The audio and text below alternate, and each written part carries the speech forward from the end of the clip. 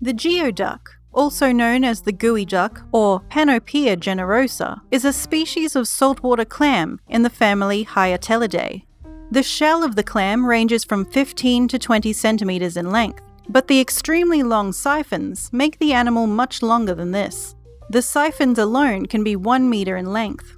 The geoduck is the largest burrowing clam in the world. It is also one of the longest living animals, with a typical lifespan of around 140 years, though the oldest specimen discovered was 168 years old. The name geoduck is derived from a Native American dialect called Lushootseed, their word gwideq, either referring to genitals or a phrase meaning dig deep, it is sometimes known as a mud duck, king clam, or, when translated literally from Chinese, an elephant trunk clam. A group of geoducks is called a bag. The geoduck is native to the west coast of Canada and the northwest coast of the United States. A mature geoduck usually weighs in at around 0.68 kilograms, but specimens weighing over 6.8 kilograms and as much as 2 meters in length are not unheard of. Adult geoducks have very few natural predators, which likely contributes to their longevity. In order to feed, a geoduck sucks water containing plankton down through its long siphon. It filters this for food and ejects its refuse out through a separate hole in the siphon.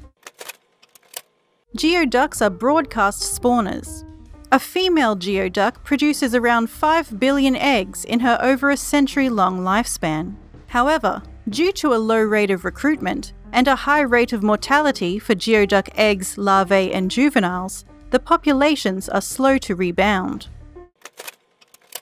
The large, meaty siphon is prized for its savoury flavour and crunchy texture. It is very popular in China, often eaten cooked in a fondue style Chinese hot pot. In Korean cuisine, geoducks are eaten raw with spicy chili sauce, sauteed, or in soups and stews. In Japan, geoduck is prepared as raw sashimi, dipped in soy sauce and wasabi. As of 2007, advances in the testing system for contaminated clams have allowed geoduck harvesters to deliver live clams more consistently. Because geoduck has a much higher market value when live, an additional 2 to $3 per pound, this development has helped stimulate the burgeoning industry. As of 2011, these clams were selling in China for over $33 per kilogram, making it an $80 million industry. However, in 2020, the COVID 19 pandemic caused a near shutdown of restaurants and seafood markets across the country, and demand for live geoducks plummeted. Divers in southern Alaska who typically saw prices of 5 to $10 per pound for live geoducks, reported prices as low as $1 per pound, leading many to temporarily stop fishing.